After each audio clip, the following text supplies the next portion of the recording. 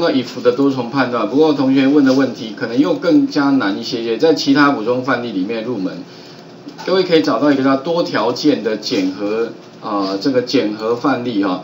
那这个可能跟你们平常工作比较有关联性啊，这一题你可以把它下载下来哈。那下载下来里面大概就长这样啊，需求说明它就是呃大概就输入年龄、保额、年收入之后，那它会有一个检核啦哈。那检核里面当然年龄呃条件的话是就是零零岁到十四岁哈，这个保额是大于两百万。那十五岁到保额是呃是一千呃大于一千万，那如果说它符合条件的话啊，这边显示需进行财务核保哦，那不符合条件，哎那因为因为这个不是我的专业啊，是这个这个保额这这是意思是什么？大于两百万是它可以保超过两百万还是还是不行，就不行就对了，四岁以下不能超过两百万，不能超过两百万。所以就是说，输入假设十四岁，哎，他是，呃，所以这个这个地方保额，他如果超过两百万的话，就不能保，就就这边和结果就要显示这个嘛，是不是？不符合条件就对了。OK，所以核保哦，OK，那如果说他的那个，呃，那这个是用一千万哈，就是十五岁到二十岁，他未满二十岁的话，最多是一千万，一千万以下才可以核保。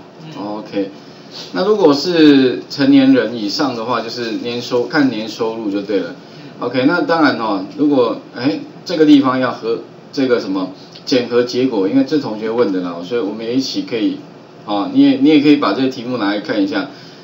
不过看了一下啊，这个要是实际上要做啊，恐怕用内建的函数来做会非常复杂。if 可能会有两个可能，一个是年龄，一个是保额。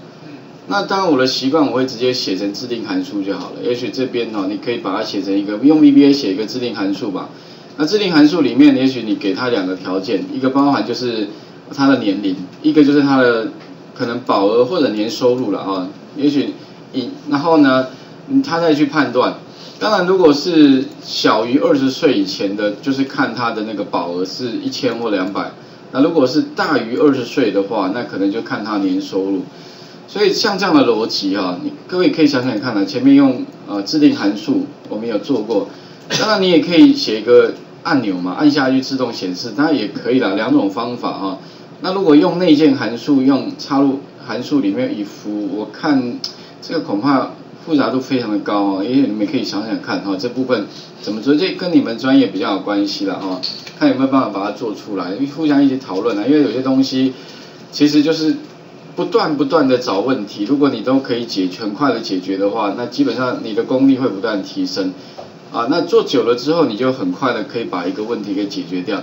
但这里面都有一个固定的一个流程，啊，你要怎么去分析？那制定函数怎么写出来？也许这个可以再想想看，待会也许我们我也再想想看嘛，因为呃，抽到这同学的问题，OK，好，第一个哈，有关那个多重。那我是把它放在云端上面的这个其他补充范例，所以你在云端白板里面会看到一个其他补充范例的入门，啊，找一下多重条件检核这个范例。那今天的话呢，接下来哈，请各位再开启那个我们范例档里面的这个好范例档里面的检视与参照，它里面呢好好几题啦，我们先从比较简单的开始好了。在那个比较简单的里面有一个就范例吧哈，范例里面计算年龄与那个查询时数 v 六函查询时数这一题。那年龄我想这个比较简单哦，前面我们有讲过哈，就是用 DATE 去算年龄，所以这个这个部分比较简单，所以你可以用 DATE D D F 啊 DATE 这个要自己打哈，他的生日跟哪一个呢？跟今天比，所以你可以打一个 Today 啊，然后小刮胡。逗点比什么呢？比 y，哦，然后这样的话打勾，就会出现他的年龄。但如果你后面希望加一个四十八岁的话，哈，那有两种方法，一个是你 and 哈后面串一个什么呢？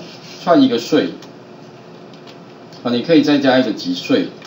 当然打勾之后的话，哈，哎，四十八岁就出来了。不过呢，哈，通常呢，哈，我比较不建议你这样做。为什么？因为你存在。Excel 里面的就是变四十八岁的一个文字。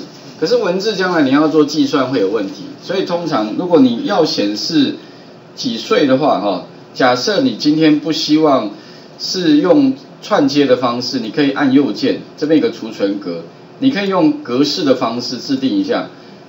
那预设如果里面是一个文一个一个数字的话，哈，在格式里面通常是用零来代替。那如果有小数点第一位，你用零点零零零，反正几位数的哈。那如果只是一个整，就是它的那个里面放的数字加上岁的话，哈，那你可以直接在这边做格式，几岁，四十八岁，按确定，OK，点两下。那特别注意哈，放在 Excel 里面的资料呢，哈，刚刚是文字，现在呢，虽然格式上面看到有税，可是实际上它里面存在一些还是一个数字哦，还还是一个数字，OK 哈，只是格式变了，存在 Excel 里面呢。还是一个数字，OK，所以比较建议用第二种方法了哈，两种方法都 OK 哈。那接下来的话呢哈，呃，开我们主要这一题是这样的，就是这边有一个是开课级别，第一第一个问题比较简单，就是几岁哈。第二个问这个等于复习，那第二个问题是所谓的开课级别哈，各位可以看到哈，哎这个班 C 零四，它的开课日期是七月三号，二零一零的七月。那请问一下，结束是哪一天？哎，结束哪一天？啊，怎么这边好特别重要？后面有个开课期，开课的班别，C 零三，它总共三十个小时。那这边有一个呃开课哈，一个晚上一周是上三个小时。那也就是说呢哈，如果三十个小时的话，总共上十周。那你要怎么去刚好计算到结束日期？OK，这个就是问题哦。那我们基本上就怎么样？要把 C 零四到后面的开课级别查回来它的总时数，并且一周上三个小时，那你总共哈，因为我开课的这个是第一周，所以第一周你要先扣掉了，总共只有后面就九周了哈，因为因为呃十三十个小时嘛，九周，所以呢你九周之后应该是哪一天，要把它算出来，OK 哈，应该了解这个逻辑吧，好。那当然，这个地方需要用 v l o o 函数去查，它到底它的那个就是时速是多少？查回来有有的三十，有的九十，有的六十哈。那查回来之后呢，再去算，哎，到底这个啊有几周？那必须要扣掉第一周，因为开课第一周就就已经已经是第一周，所以后面还有九周。那你要把这个时间给算出来，这怎么做啊？请各位先开启那个。范例档，哈，这个在检视与参照里面的这个计计算年龄与 v e r i f y 就查询时数这个范例，哦，OK。哇，你可以，但一下要全部做完哦，可能比较困难一些啦。所以通常像一个比较冗长的公式啊，你可以分成几个阶段。也许第一个，你可以先查出这个这个班级的时数是多少，OK。那你知道时数多少之后的话。你就知道有多，就是说呢，它是几周了哈，就是说呢，如果是三十的话，那当然相对的，哎，你就是怎么样，三十除以三，因为一一周有，哎，有三个小时，那一周七天嘛，所以你再乘以七，不过记得要扣掉一周，因为第一周已经开，这个是第一周的时间，所以等于是总周数，假设十周，你必须先减掉一周，再乘上七天。就是它总共结束的天数是哪一？总共有几天？再算出结束的天数，那那日期就算出来。所以我们可以分成几个就第一个哈，查时数，查哪个是 C C 零四。那我的习惯是把这个开课班别哈，这个范围怎么样？先定一个名称好了。因为等一下那个 view 函数哈，会需要指定一个 table array，所以呢，我就把这个 Table 这个名称先定义好。那我前面讲过了，定义好就按 F 三就好了，会比较简单一些哈。所以呢，我们查实数插入函数里面呢，用那个诶检视与参照，有没有？这用 VLOOK 函数。那查什么？查 C 零四哪个 table 呢？F 三就开课班别。那这个开课班别里面的第一定是找第一栏哈。我要的是第三栏的资料，所以把这个地方给它删。比对方式的话呢，就完全一模一样的比对方式就零。OK 好，按确定。那就查回来，总共三十。那当然，其他的时数你也可以向下填满了哈，哎，都可以全部查出来。根据每一个，好吗哈？那结束天数的话，基本上就根据什么？等于什么呢？哎，它的结束天数总共应该几天？那基本上就是它的总时数，怎么样呢？除以三，因为一周三三个小时嘛哈，然后呢，哎，先把它除以之后哈，记得把它减掉一周，因为这个开课的日期是第一周，所以必须把它扣掉。等到扣完之后的话哈，记得怎么样呢？再把它刮弧起来，因为一周的话七天，那我要天不是要周，所以乘上七。这样的话呢，哈，我就可以打勾之后就算出结束那一那个天总共有几天，从开课日期到结束的天数，啊，总共有几天？那结束日期当然就是怎么样了？等于什么呢？等于开课日期加上几天之后，所以加上那个结束的天数，按打勾。那因为呢，我前面讲过了，日期其实里面就放一个数字啦，啊，跟一九零年一月一号相比，相差几天的那个数字。那你如果一个数字再加上另外的数字啊，它会怎么样呢？它会自动的哈帮你产生另外一个加完之后的数字，并且哈会套用它现在的格式哦。最后重重点就是格式也会带过来，所以这个结束日期的格式呢也会带过来，所以结束的那个日期的话，哎就会带出来。OK，那我们利用这样的方式哦，就可以把这个最后的结束日期给做出来。那当然你如果最后要直接把它拿过来，你可以复制，直接选择性贴上，只有值就好了。把这个里面的值贴过来，啊，结果一样 OK 了哈。但是如果说你想说老师，那我可不可以一次就做完？当然也可以啊。如果你要一次性做完的话，你就是有没有这个这个几个动作哈，你就是全部要串在一起。所以基本上就是 C 二哈。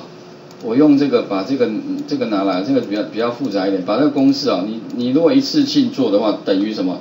等于这一天加上几天之后，那加上几天之后，你就是用查的，先把它查出来，对不对哈？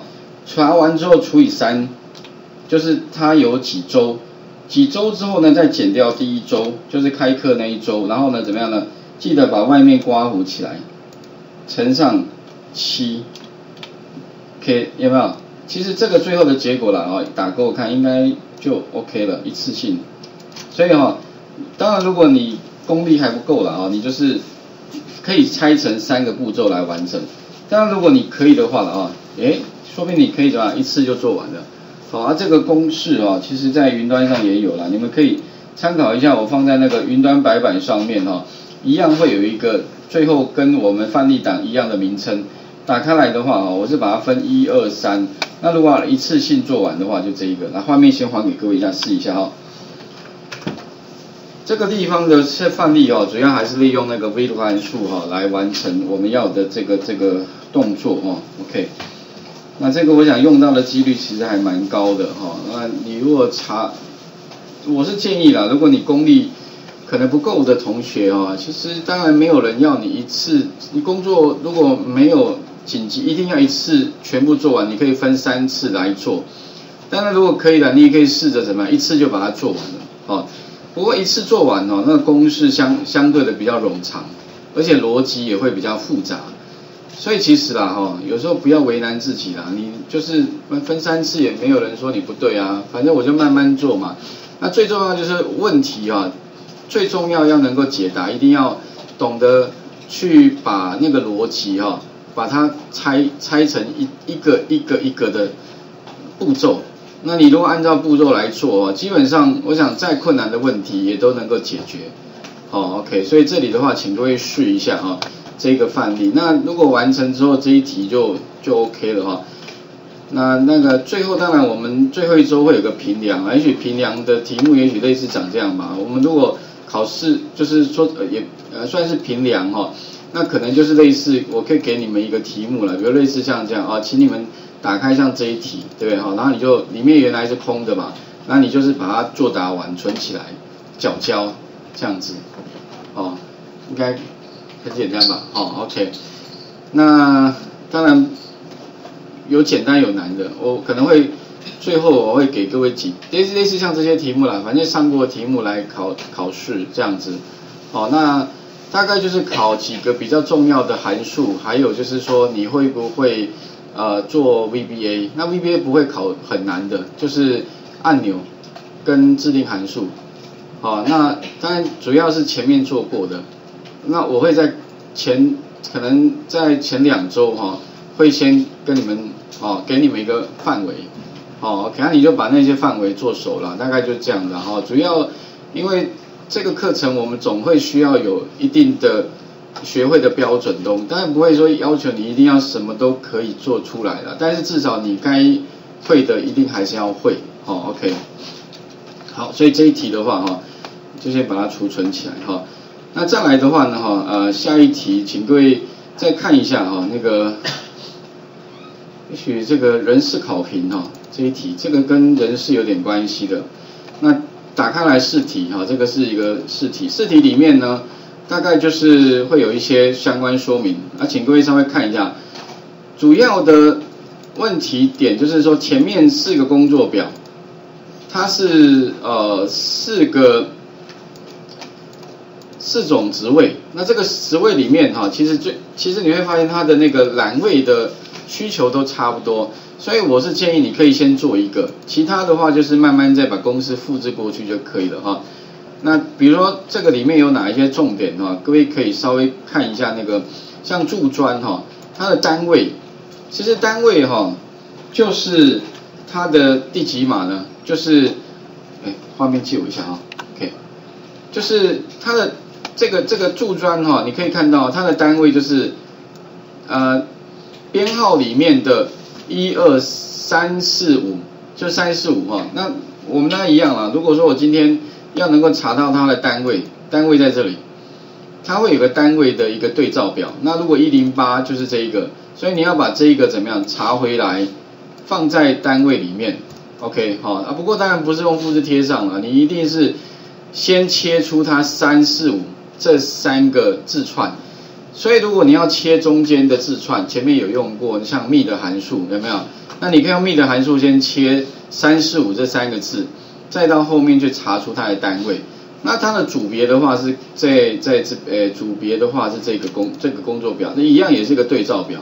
那实际上这边已经有做了一个呃一个对照表哈，那个对照表里面的话就是 A B 到一哈。那其实在这边的话，实际上就编号的第七个字，第七按照第七个字帮我查出它的哪一哪一组。